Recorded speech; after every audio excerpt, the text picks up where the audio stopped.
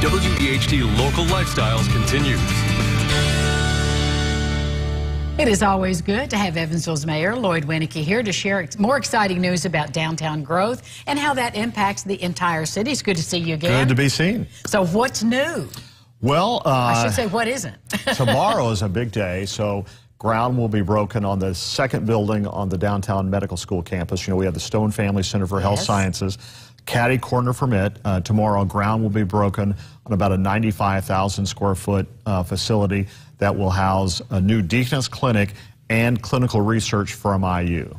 That is really a big deal. When is it uh, uh, slated to be completed? So, you know, probably 16, 18 months. There you see a Oh, that's pretty rendering, uh, uh, what it will look like. That uh, The way you see it right there on the screen, it's actually facing east. So you see a pedestrian crosswalk that will lead into the Locust Street parking garage. So if you're a, Oh, uh, I see now. yeah, if you're a, a patient of the Deaconess Clinic, you'll be able to walk right from the parking garage into that facility. Uh, but this is, uh, you know, this is part of the vision for that four and a half or five block area that over time it would all be built out in the health science uh, field. Uh, Dr. Steve Becker, who's the dean of the School of Medicine in Evansville, doing a great job with his team, getting people and the key players in, in place to help build this because literally they are building a new pipeline of healthcare professionals that will make our community and our region and actually our state uh, better from a health healthcare perspective. when the original plans came out, you'll have to refresh my memory and the audience to build the medical center. How many phases are there in, Well, in that project? We've built, uh, uh, we've we purchased like four and a half blocks. So the, ideally, over time, that entire four and a half, five block area will be built out. Uh, initially, the, the project was uh, contemplated that IU, U of E, and USI be on campus, and Ivy Tech. Ivy Tech was eliminated at the state level for a variety of reasons, and we'd like one day to get Ivy Tech's health science classes uh, on this campus. So that's a long-term goal. Uh, and well, there that's are- a smart, yeah. that's a smart And- uh, connection. and, and there are other things that are sort of uh, early in the pipeline that people are kind of talking about that we think could come to this campus area. So uh, a lot of potential.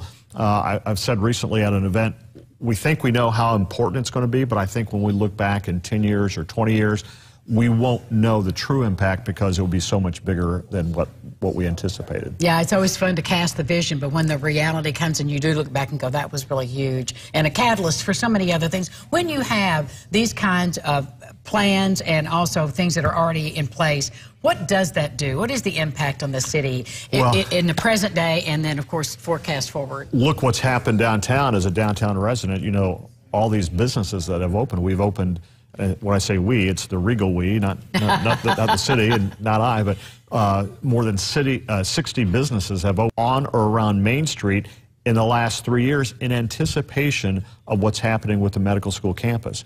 So, uh, that Stone Family Center for Health Sciences today has four or 500 people a day in that building.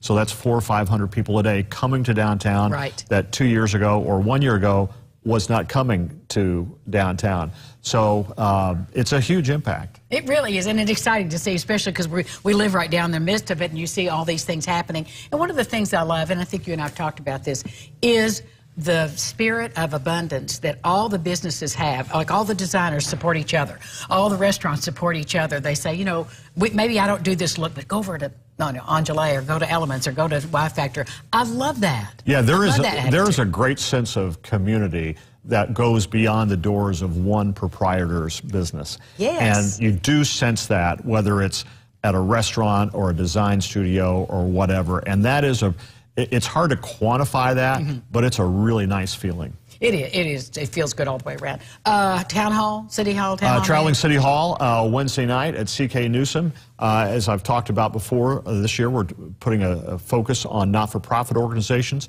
This year, Aurora is going to, or this week, uh, Aurora is going to be there. We're going to talk about the homeless population and what the, the broader community is doing uh, to help those who are chronically homeless. And it's it, people will be, I think, stunned to find out what the statistics are and what's being done. Yeah, there is. I mean, there are over 400 people, 425 or 30 people a night or a day who are homeless in the city.